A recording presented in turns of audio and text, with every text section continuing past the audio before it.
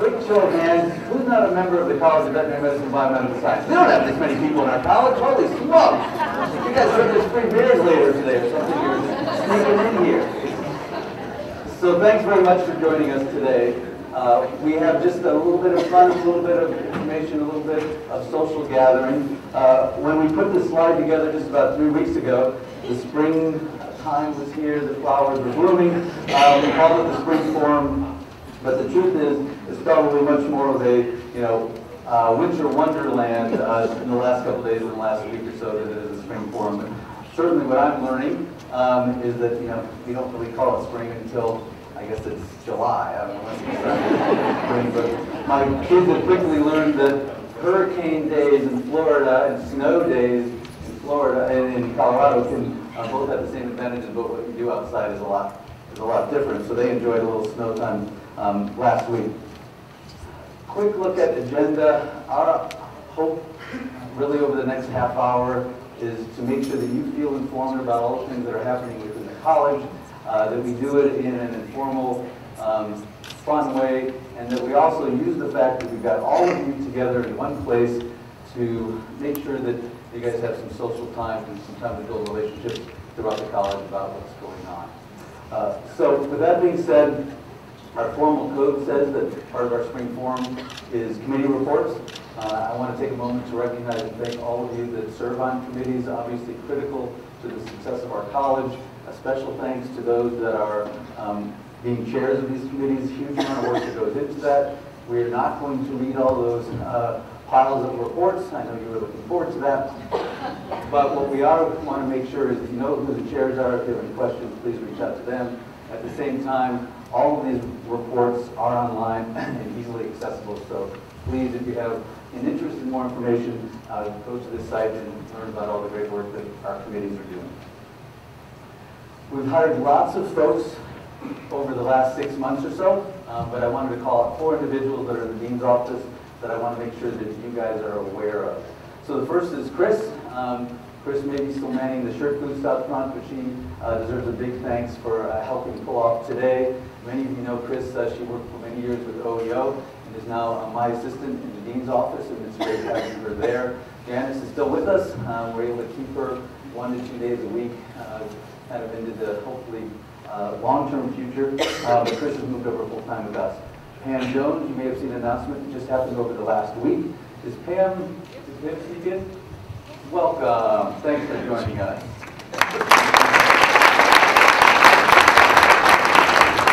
So Pam survived the interview process. We were able to steal her away from Boulder, that other place uh, down the road. Um, she is a CSU alum, and she also worked at CSU before, and it's going to be great to have her working full-time with us uh, as the Executive Director of Development. So welcome aboard, Pam. Officially starts the 20th, but we're trying to sneak her in as much as we can uh, before that, 20th of May. Many of you have worked with Bob um, and know that he has been with us for several months. Uh, we are pulling him into a full-time uh, uh, facilities management position. As you guys know better than anybody, whether it be our aging facilities or the new facilities that we want to build on property, it's critical that we have this kind of tied up strategically, that we can present this to uh, Central, and that we can make sure that all of our labs, all of our teaching space, all of our office areas um, are as best as they can be. So, um, so he's really going to be in charge of all of those efforts moving forward for the college. And then just as of today, um, you will start seeing announcements uh, for Coleman. I think. Welcome, our newest member of the college. So Coleman, we've been able to uh, acquire from the College of Sciences. She's been with us for many years, and she's going to lead up our communications team here. So um, Brandy, welcome. I don't know if we've got an official start date, but sometime in May you'll start seeing her uh, with us full time. Quick look at finance for the college. I'm not going to show a lot of graphs. This may be one of the only ones you see, but I do want to give you a high-level look at all the things that are happening from a revenue perspective. So $110 million from our college coming in, pretty typical over the last couple of years in that range. The only real difference you may note, uh, we've seen a small amount of decrease percentage-wise uh, in the research dollars and a nice increase in some of our revenue-generating areas in the veterinary diagnostic lab and the VTH. Additionally, DVM um, tuition dollars have gone up a little bit, along with some of our state appropriation. Most of this is probably startup dollars um, from my package. So, so this is very solid. Um, um, This is very solid in some of the work that um, you guys are all aware of. Uh, Some of this you saw last fall during our fall forum, the material on the left, how we implemented about a half a million dollars of uh, incremental dollars to new positions and to new efforts within the different departments. And then on the right, some of this may be new to some of you. We just decided as an executive council, just about a month or two ago, how we will use the new dollars that are available come July 1 um, of my startup package for some, uh, some new positions and new initiatives uh, that are coming out there. This is um, about $2 million that the provost has recommended to the president, to the board of governors, as incremental budget dollars for next year that would come back to our college. Many of these things um, you may be aware of already. Uh, some of our Plan B master's programs, some of the differential tuition are all things that um, have been booked, uh, have been baked into our budget, um, but these are incremental dollars compared to last year. Uh, this uh, radiochemistry support is actually a grant that we received several years ago um, with the understanding that we received a grant at the provost's office would help support that. So he's put uh, those dollars in starting next year.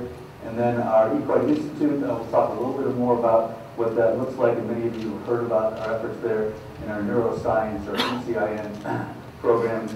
Uh, the provost has been good enough to put in some additional dollars to support that. And the last bit from a financial perspective, um, second year in a row that we'll be seeing uh, raises throughout the university, so great news.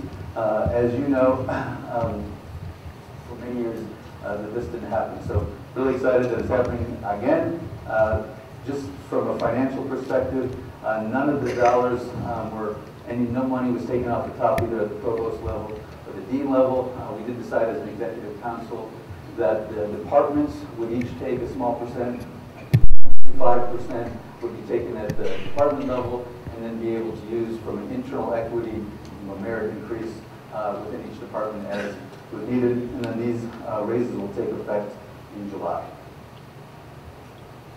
So last fall, we talked about some college themes that are really critical for the success of all of us, and how we really wanted to think about these um, as commonalities between all the different areas of the college and how we would better work together.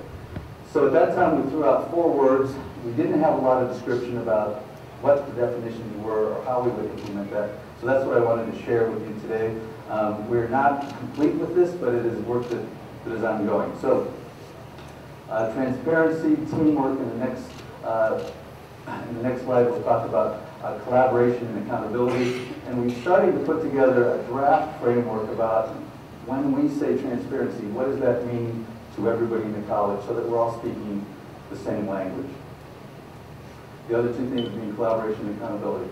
So let me give you some examples of how we're utilizing uh, these themes as far as in day-to-day -day practice. In the Dean's office, we've developed what I would call core competencies for each individual role, including myself, our department heads, and identified leadership traits that are important to make sure that these happen. So myself, at my six-month review, we identified a survey that included core competencies on these and many other leadership traits. And then uh, my executive council, the other deans at CSU, the provost, and a couple other key individuals that I work with a lot, did a six-month evaluation on myself. How was I doing from leadership and from a, a core competencies from the dean? We did the same thing in kind of beta testing with uh, Jac Nickoloff, who's going through a five-year review as department head. And I would anticipate that we will continue to modify and, and work through that process, but it'll be a great way for us to incorporate these as part of what we do on a day-to-day -day basis. Additionally, we've been working on some very draft-oriented, the things that you need to be aware of uh, from a vision and mission perspective. So these are um, just four examples of things that the Executive Council with an ex external consulting company have started to put together to talk about who we are and what we do, and catchy phrases that would allow us to better tell our stories. So these are things that are not in stone as we put together our strategic plan and as we have a much bigger group of folks that are involved with our strategic plan and drafting our mission and vision, um, we would look forward to any and all of your involvement in being able to finalize these and make sure they speak to everybody in the room and that they make sense uh, as far as our college and how we how we brand ourselves. So if you're interested in being involved with some of this work, uh, we'd love to have faculty, staff at all levels and in all departments um, being part of that effort. And then from a strategic planning perspective, we've interviewed several uh, external consultants that have come in and done a song and dance and said, hey, this is how we can help you put together a strategic plan. As you may know, our official one uh, on the books, I think, is a 2005 model. The truth is, if you look at the 2005 model, it looks very similar to the 2000 model, just with a little whiteout. And so uh, we're really going to look at um, doing something that you know takes us in to the next five, ten years, and really is something that allows us to build um, our program um, and grow upon. At the same time, um, there are several units within the college that are moving forward with a strategic planning, which is great. Clinical science has been doing this for, for many months now and are close to finalizing their effort, which is wonderful. And then the D-Lab is just starting on their journey, so we want to give them license to continue their work um, while the college does, uh, does their effort at the same time. We'll spend just a couple moments talking about initiatives that you may have heard about, and then maybe some new things that um, have just come up that I want to make sure everybody is aware of. First one is our University of Alaska at Fairbanks 2 plus 2 veterinary program. And so my um, expectation is probably over the next month to two, you will start seeing um, press release, uh, memorandum of understanding uh, completed that announces our official collaboration with the University of Alaska at Fairbanks. Uh, this is, as we've talked about it both on this campus and up in Alaska, there's been more and more excitement about what a win-win uh, collaboration this will be, what a great opportunity it will be for our faculty and students, and at the same time for the state of Alaska. So we've got uh, several um, faculty and administrators coming down from Fairbanks, I believe in May. Um, they'll spend some time here, and then they'll also um, spend some time at the Nebraska Iowa universities um, where they have a two plus two program and see what uh, makes sense for us to incorporate from what they've done. So many of you are familiar with the National Western Stock Show. Uh, been going on for many, many years in Denver. They're going through kind of a rebranding renovation process, which will take them from a traditional stock show that happens every January to a program that is a National Western Center. The National Western Center will be open all year and it will really incorporate the culture of the West agriculture, equine, um, ranching, all those things that they do now, but in a much more comprehensive educational way. They've um, worked with the city of Denver and with CSU to look at a significant urban revitalization project that would include the corridor from I-70, um, a light rail project which is going in there, um, the riverfront, which isn't a riverfront at the moment besides a river, um, and looking at an entire redevelopments of that part of the city, and they've asked CSU to be a major partner with that. So our college, the College of Agricultural Sciences, have been in negotiations or discussions with um, this group for a couple months now. We've asked Chris Kawcak to kind of lead up that effort, uh, mainly because our first glance at this is that this would be an opportunity for us to expand our equine sports and rehab um, and be able to have a footprint down in Denver. So uh, you'll see more and more discussion about that but I didn't want anybody to be surprised. From a communications team perspective, a lot of interesting, great things moving forward. We've embedded two full-time communication specialists within the development team. Obviously, uh, for our development team to do all the things that they're going to be doing in years ahead, they need to have a very strong communication component with our alumni, with our collateral, with our other efforts there. Um, with our hiring Coleman, and with some uh, significant collaborations with Central, we're really looking at doing a significant marketing campaign. We're hiring a medical marketing group to look at how we can market ourselves as far as a veterinary teaching hospital and a college in a more significant way. So my guess is you'll start seeing our college highlighted at a DIA.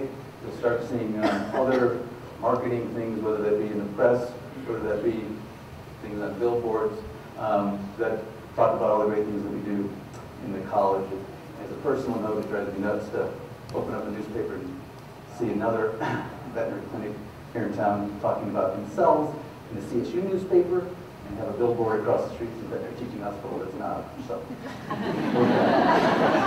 we're going to fix that.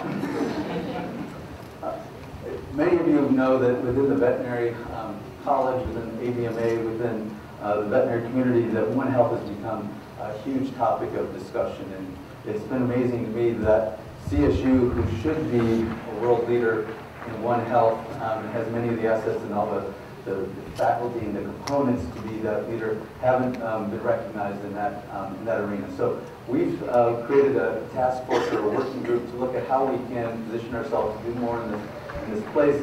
Uh, I just met with uh, the um, VP for International Relations, uh, Jim Cooney, yesterday, and the VPR office, and um, we are looking at the Fall International Colloquium, which happens every year um, here at CSU to be a One Health colloquium, and then we're also hosting, along with USDA and some other key partners, uh, an International Wildlife Borne Disease Workshop here this fall. So uh, both those things uh, will fall underneath some of the work we're doing with the One Health Initiative, and then I would anticipate that this working group, including multiple colleges on campus, including the USDA, CDC, National Wildlife Research Center, will start to pull together some um, positioning statements about what CSU is doing and how we'd like to be part of the growth that we're going to see here at CSU in the years ahead. So many of you have heard about and have been part of uh, this Equine Institute, if you will, which pulls together a lot of the great things that we do already at CSU in regards to um, our equine work and um, builds it underneath a, a signal umbrella with what you see there. So um, uh, multiple entities came together, a day-long retreat to look at this Equine Institute, came up with this great uh, tagline, uh, integrating health, science, and education for the benefit of horses and humans. So um, you will start to see a website, you will start to see other printed collateral, you'll start to see more and more effort behind an equine institute at CSU that is a little bit less about the individual entities and more about uh, that group as a whole. I'll tell you that um, this will allow us to really build out some of the growth that we're expecting in the years ahead. New equine hospital, some of the other uh, collaborations with our partners over at the College of Ag Sciences regarding uh, a riding center and an education center. So uh, great stuff, I will say, um, which is part of the Equine Institute. You guys all need to be aware of it. If you can attend, we'd love to have you there. But the ERL is opening this Friday. It'll be a phenomenal event. We're expecting well over 200 people. It includes our president, our chancellor, it includes a variety of government officials, it includes all of our uh, faculty, hopefully, that work in the equine space here. Um, if you haven't been over to the new ER building, it is a phenomenal facility, um, both to teach, provide service. It's just going to be a great place for those to work. And um, we hope if you can't come on Friday that you'll come out and see it because it's, it's wonderful. So I would be remiss to, you know, talk about all the wonderful things that are out there without talking about, you know, some of the challenges that are facing us. We've been working from a veterinary education perspective uh, to try to determine how big of a crisis it is or not with the students giving out of our programs. How much do they owe from a student debt perspective? How easily are they able to find jobs? How much are they able to be um, compensated when they do find these jobs? I think all of this was in the works anyway when suddenly a big New York Times article came out several months ago that highlighted a Ross student who just graduated. She owed well over $300,000 um, in student debt.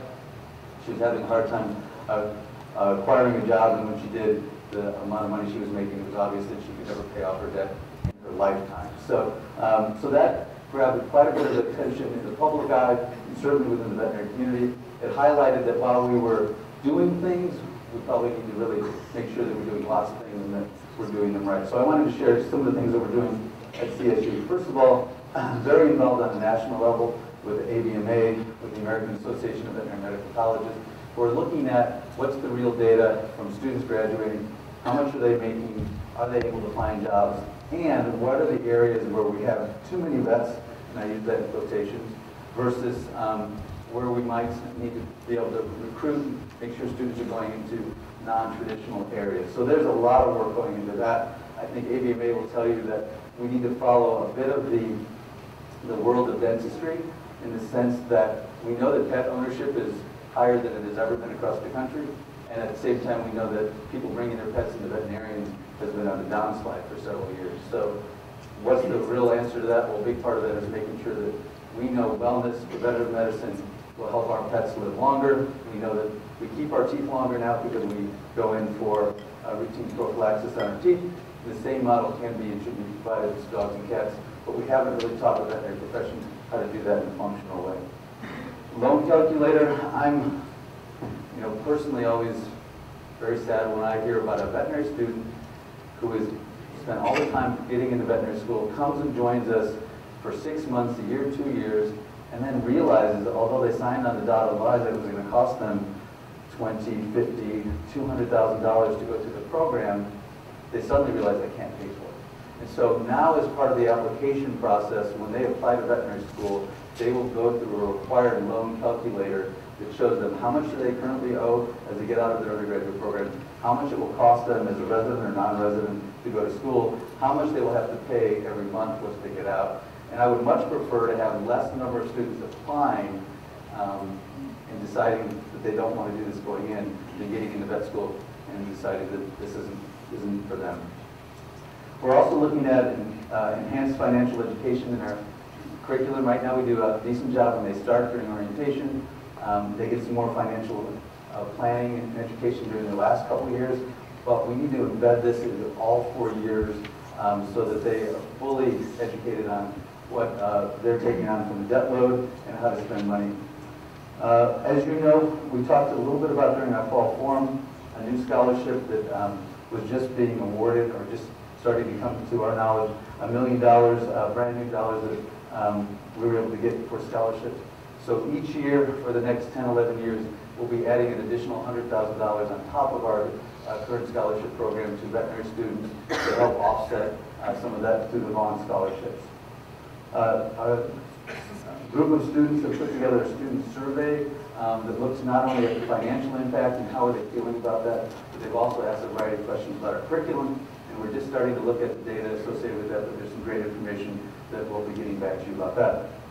And then lastly, uh, Dean Hendrickson and myself will start a series of town halls, which are just open, open forums for the students to come and chat with us about whatever's on their mind. Uh, we start with our first one tomorrow. We're planning to have several of these every semester. Just a quick look at some of the new collaborations since we uh, were able to get together last fall. Uh, these both show an international component in Africa, and Asia, and then right here in Central um, in, in, Colorado with some of the new collaborations that we've been able to um, sign and make sure that our programs are growing. Quick call out and thank you for all of the research folks in the room, and when I say that, everybody does some degree of, but for those that live and die on NIH or government research, we know how difficult it has been for you. We know that in the good old days, you know, 20%, 12, 15% of, of proposals were funded. Now we're in the single digits, and it's amazing to have quality programs that are doing all the work that they're doing um, and not being able to move forward. So I know that that's terribly difficult. Sequestration certainly hasn't helped any of that at all. And so I wanted to recognize and thank um, the top number here is a great example. This is the highest number of proposals that our college has ever submitted. Um, and that's because you guys are working harder to uh, get the dollars that are available. And even in these difficult times, you can see that in uh, last year, that uh, award dollars received were still going up. Um, and even looking at this year, we're either going to be very similar to last year or maybe even up a little bit as far as grants received. So a great testament to who you are and what we do, um, knowing how difficult these times are from a government and uh, a research funding perspective.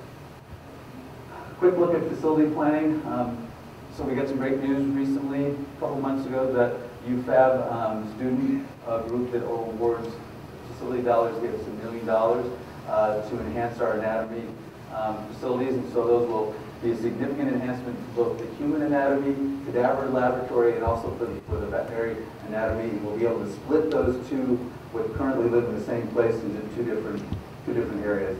Also, the huge amount of work that's going in over at the Teaching Hospital, thank you to Tim Hackett and all of those folks that are taking a 1979 structure and going to basically remodel the entire thing so that it's a state-of-the-art facility to meet our uh, future needs. So the critical care unit is now walled up um, with a bunch of uh, boards, but we anticipate that to be open at the end of the summer and to really be a fantastic new facility.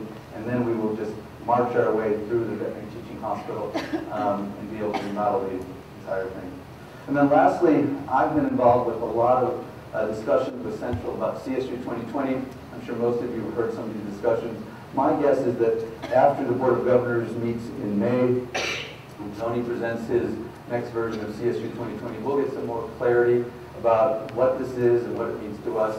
But I just want you to know that um, on a university level, there's a lot of discussion about taking a campus that is 27,000, building it up to 35,000, and what does that mean for new programs? What does that mean for new buildings? What does that mean for new faculty and growth? Um, all those things, um, we're working hard as a college to make sure that we can maximize uh, our growth in a strategic way in conjunction with what CSU is doing. So there's a new science building. Let's make sure that it's going to do all the things that we need it to do. If we're going to grow our programs, we probably aren't growing our veterinary programs, but we have significant abilities to grow undergraduate and some of our uh, master's programs as well.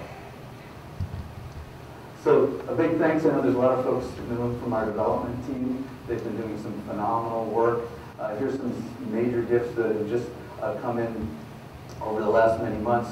Um, and this is really helping us with you know, less research dollars coming in. How do we grow our facilities, our programs? It's through efforts like this. And so many thanks for making that happen. 22 promotion and tenure packages came my way. First time in 52 years I'd ever seen those. and it was a great experience for me, and I'll tell you, um, it really helped seed in me the huge amount of work that all of you do. When I read through letters of support from outside uh, individuals, when I read through all of the publications and the research grants and all the different departments, when I go to the Council of Deans and see other major colleges, you know, that are putting forth, you know, six letters, uh, six packages for promotion and tenure, it makes me really appreciate and understand the magnitude of work that all of you do. So uh, my only caveat here is that uh, our president is taking all of these packages with his recommendation to move forward to the Board of Governors. So this is an official, official, official till after the May meeting, but I've been told by um, our provost and president that all of these names are being supported in the promotion and tenure as we move forward.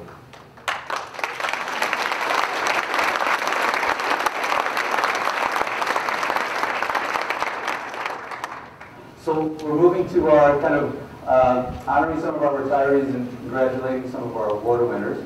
Um, I don't believe Bob is here today, so I'll ask Barry to come up and join us. You know, we don't have a gold watch, but we do have a clock for you. Is that? Thank you very much. I know.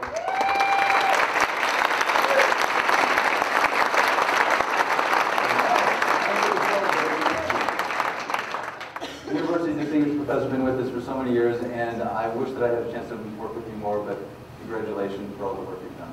Well, it's been a great 30 plus years. Can I have Sundays off? You can have Saturday and Sunday.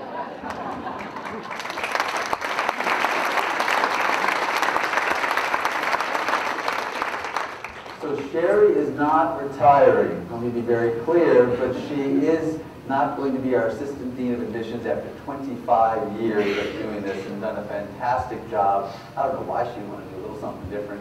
Um, but she's going to be heading up a lot of our efforts when we think about um, distance learning programs, when we think about how we're going to use some of these new modalities to teach our students in the future. Returning to the faculty, thank you very much for all the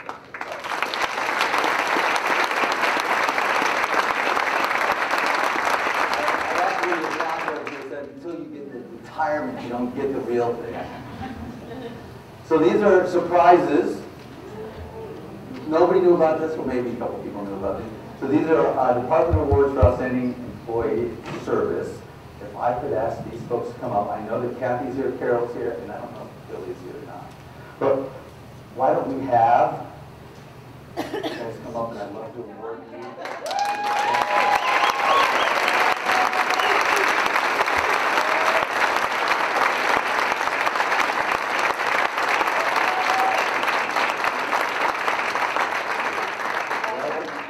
So Kathy um, not only gets this very fancy plaque for her office, but more importantly, it's $500 her next paycheck.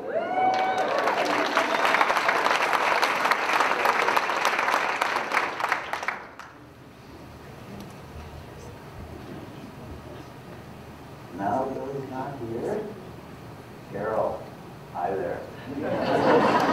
Congratulations.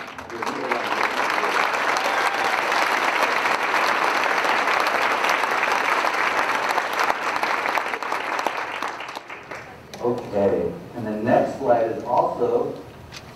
rise, but I'm going to uh, stand close to Dr. Ken Blehm, who is going to speak into one of these microphones and help me with our next awards, which are for the Student Choice Awards, and congratulations to all of the folks that are up there. Is Bill out there? Now, we're gonna go the other, Yep. I've got a different order here, so. Uh, Do you think you're the dean or something? Some of you may know that uh, each year, for almost the past 10 years, we poll our students repeatedly during the months of January and February, and we call these the Student Choice Awards. The awards that I'm going to announce now across our graduate curriculum, our PVM curriculum, and our undergraduate curriculum are driven solely by students nominations, and then subsequent votes to those winners. So our categories that we have to award are, one, unique to the professional veterinary medicine curriculum, that is in the area of practice management.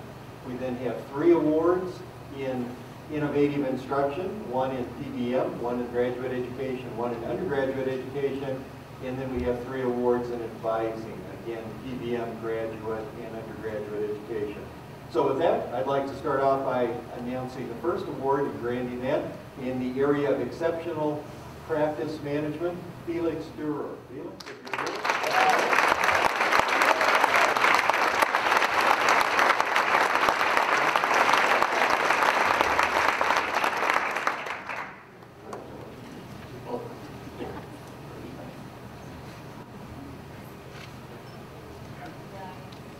Oh, that hurt.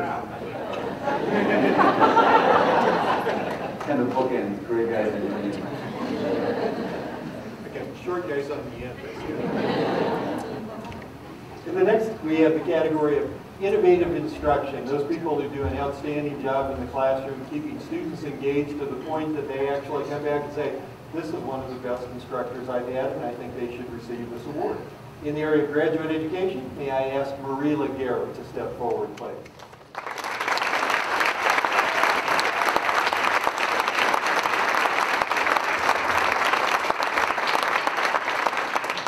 Looks like a red carpet, isn't it?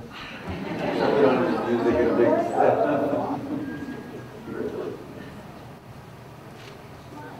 No. It's taken my soul.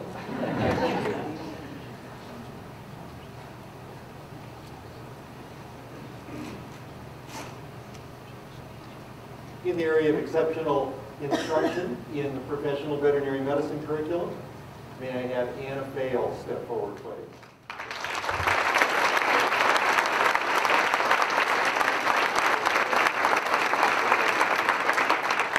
Second on her behalf is Ken Blehm.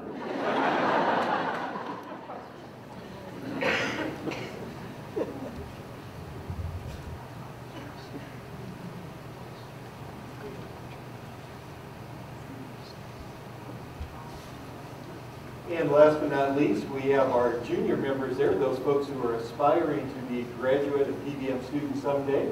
And innovative instruction in that area is awarded to David Gilkey.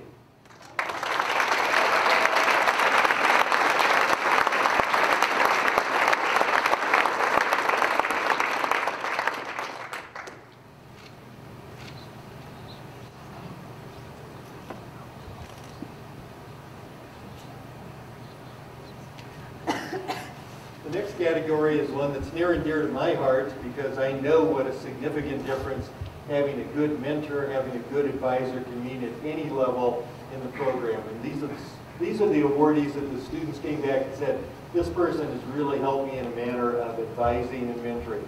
For the professional veterinary medicine curriculum, may I have Deb Liptak step forward. please?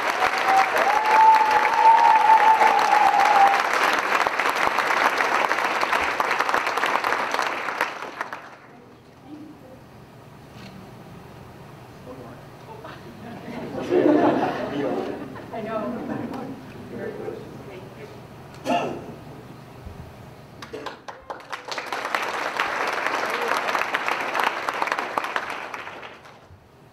In the area of graduate education, I'd like to call forward and honor Bill Brazil, please.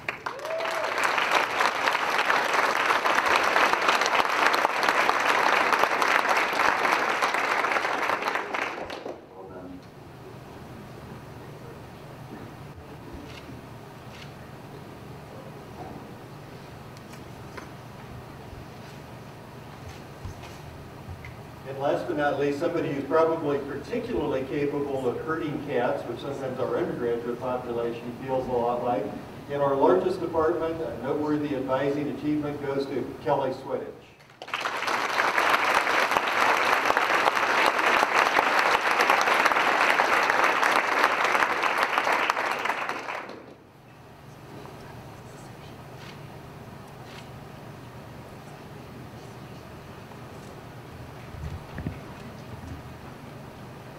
Well done. Thank you very much, Doctor. Well done. So, we will take a couple questions, but I do not want to stand in front of you in a cold beverage. So, um, we'll just take a couple questions, and then I will be glad to stand up here for a while afterwards when the troops have been released up to food and beverage, um, and answer any questions you might have on an individual basis. I will ask, there are some questionnaires on your, on your chair. This is the second um, forum that I've been able to participate. I'd love to hear if you like them, if you don't like them, what do you want to see more of, what do you want to see less of, as we kind of uh, perfect these over time. So that being said, I saw a question go up already. Sir?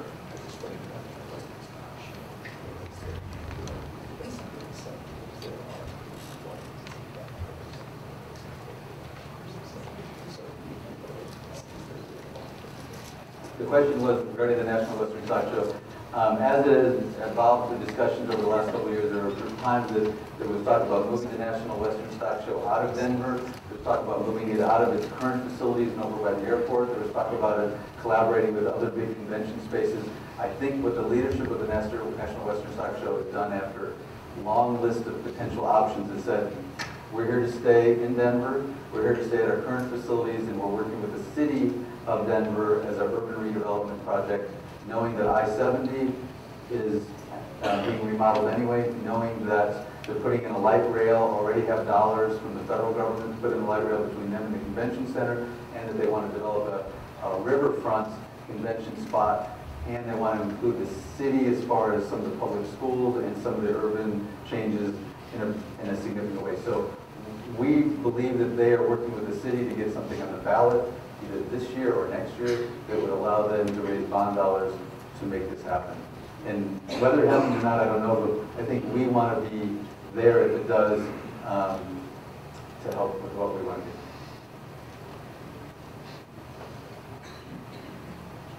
Nobody wants to ask a question. Full house, there's no questions? Come on, we got time for a couple. We won't close the bar right away.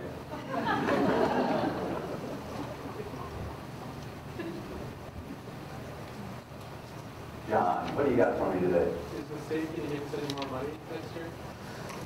So the question is, is the state going to give us any more money next year? Um, Us being CSU are getting some additional dollars, us being our college, not that I'm aware of.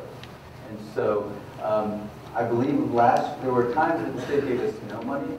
Last year, we had about $2 million in CSU got for deferred maintenance um, to help with aging facilities and buildings. Um, I'm told that the number thrown out there for next year is more in the $6 million range that will go to CSU to help us with facility infrastructure.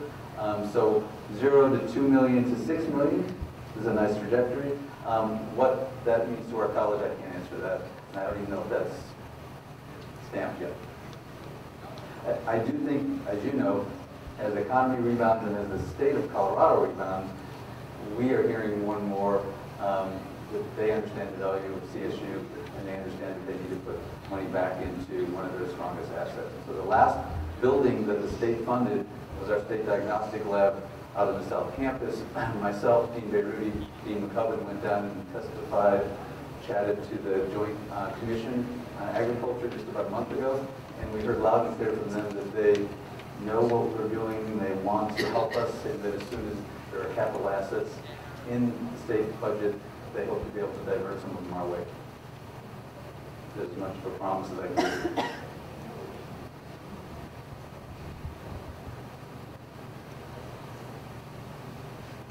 Hi there.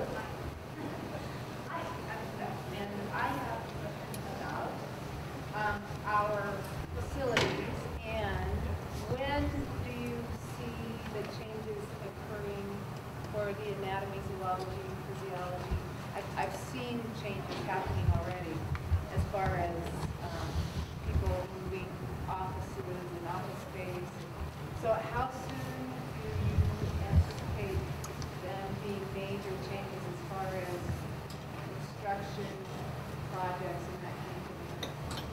So was asking you about uh, facility changes in the anatomy, physiology, biology world, if I heard your question right.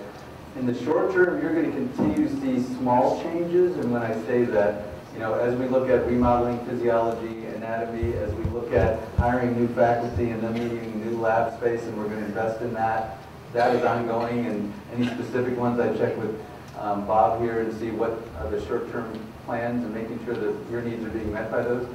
Bigger things, you know, I think one of the next buildings that the university is committed to do, to, to build is this biology building. Um, and I think that will help our college significantly. Building a biology building allows us to expand into that current uh, zoology space. Um, I've asked and have not um, been told when they say the next building, the next building means next summer or in 10 years. I just don't know that.